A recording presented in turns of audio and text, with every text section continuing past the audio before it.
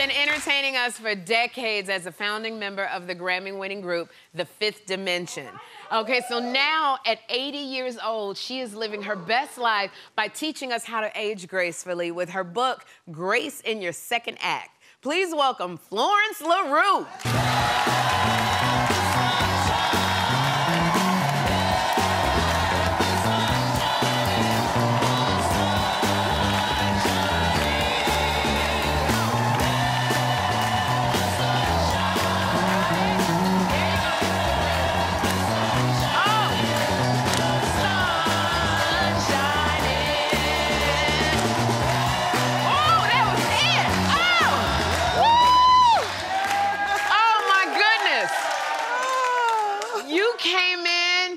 Your hit song. Y'all remember Let the Sun Shine In. that was it. I mean, when, when you hear that song, Florence, what do you think? Well, first of all, I'm, I'm excited to be here, Sherri, because to be with a beautiful young woman who is respecting and coming together with our seniors, it is so exciting. Of course, of course.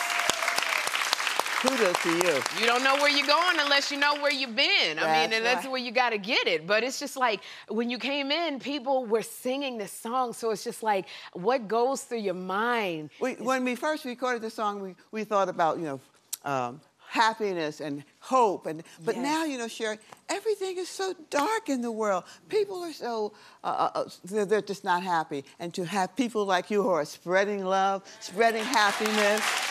And we That's need that. We need that today, especially young people, because you know some of the young people they just throw us old folks away. You know, well, they're old. But no, sir. I, I, was told not to use the word old. It's mature. It's but you know, honey, some of us are just plain old.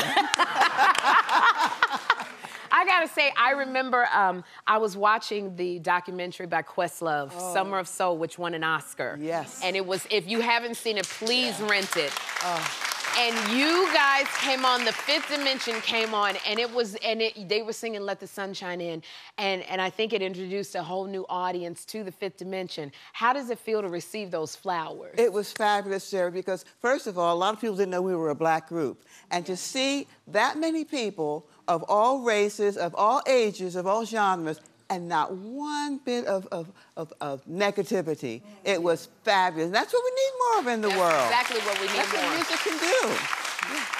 I'm looking at you, Florence, and it's it's, it's breaking my heart because I'm, I'm, supposed to say Miss Florence, but uh, we're gonna talk. We could be Florence. Okay, okay Florence, and 80 years old. First of all, you look so Thank good. Thank you. So looking as good as you do, why did you feel the need to write a book about grace in your second act and aging gracefully? Well, Sherri, there were two reasons. One reason was people were always asking me, what do you do? How do you have the energy that you have? What do you eat? So I said, well, I can share it. There are books out there that tell you that. But the main reason was and during the holidays, I would visit uh, homes of, of the elderly. Mm -hmm. And there, just imagine people lying in bed, many of them uh, with no cards, no photos of their families, and a lot of them there unnecessarily because some of them had given up on life. And I wanted to encourage people, especially the younger people, to prepare for those times. You know, when you're young, you think, oh, well, I'll, I'll prepare financially, but you don't pre prepare mentally, physically, and spiritually. Ooh, you know, ooh. you, you've got to live. Money can't buy you good health. That's right. You know? That's right. Money can't buy you good health. You, so you want, you want to, like you say, you want to just live a, a good life. And don't just exist, live. Live. Live. And that's, speaking of when you say live, you said that there's a difference. You said there's a difference between getting older and growing older.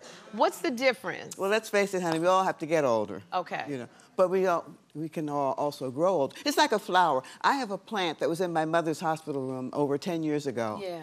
And it's still alive. Why? Because I nurture it.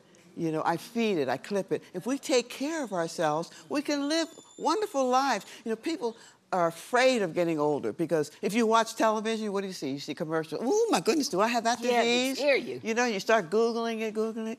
But if you prepare for your uh, your senior years and, and, prepare to enjoy them, don't oh. fear don't fear growing older. Enjoy it. Enjoy it. Yeah. I often wonder, you know Florence, it, it, being on social media a lot, so many people, they, they just cater to youth. It's all about being young, young, young. Why do you think that is, that so many people are obsessed with youth? They're afraid of getting older. Mm. it's, it's going to happen. So enjoy it, Embra- embrace it. You know, I I prepare myself by taking care of my health, Yeah. uh, taking care of mentally, physically, and spiritually. And you, You- and you have such a great spirit. That is so important because it's inside and out. You know, Inside and out. I mean, because you can do all kinds of things, you know, to be beautiful. You know, there's all kinds of um, surgeries and things, but inner beauty, that's something. yeah. It's, it's attitude. It's That's your it. attitude. It is the attitude. Yes. And I always tell people laughter is so good for the Oh, soul. It really, you laugh a lot. You Yeah, I try. Great sense of I humor. try. But you know, I want to ask you. So being 80, what's the romance life looking like? Are you dating anybody? What's Well, honey, I'm not dating anybody right now, but I'm preparing. I'm, hey! I'm, I'm, I'm old, as they say. As they say, I'm old, but I ain't dead. As a matter of fact, you know, um, no, they didn't hear that. You said. I you said, I'm old, but I ain't dead. As a matter of fact, people say, "Oh, you should go on the dating, you know, on the dating that was on the internet." Yes. No, I don't believe that, but I do. You know, I go to church. Uh-huh. You know, and um, I said maybe there might be somebody there. So I went there, knowing that I'm a singer. You know, they say, "Oh, well, you can choose the, for him." I said, "I'll take him and him and him." I